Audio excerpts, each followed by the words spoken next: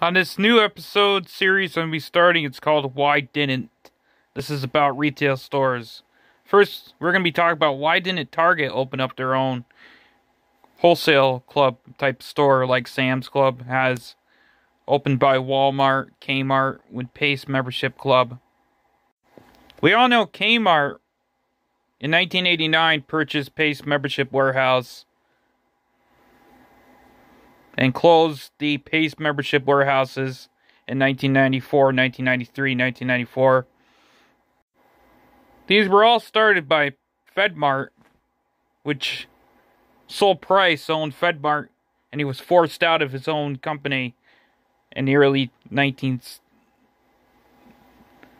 1970s. Uh, and he opened up Price Club, which was his first which was the first, or they're called the original wholesale club, which Sam Walton, founder of Walmart, and even the manager of Kmart Corporation at that time got their idea for the stores by Sol Price.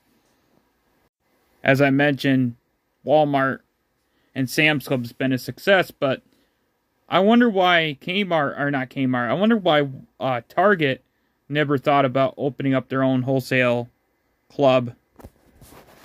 Like all their successors or not their successors but all their competitors has uh, done in the past. I wonder why they haven't thought about doing their own wholesale club. Now i'm thinking it's because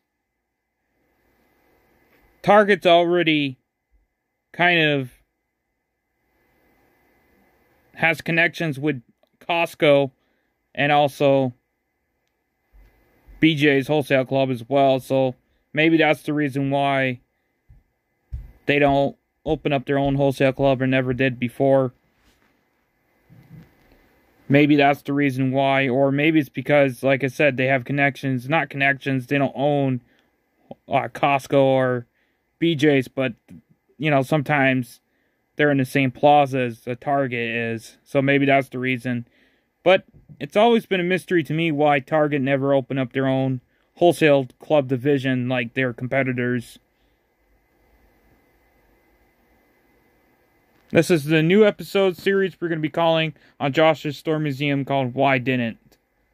This is a new retail series. Thanks for watching.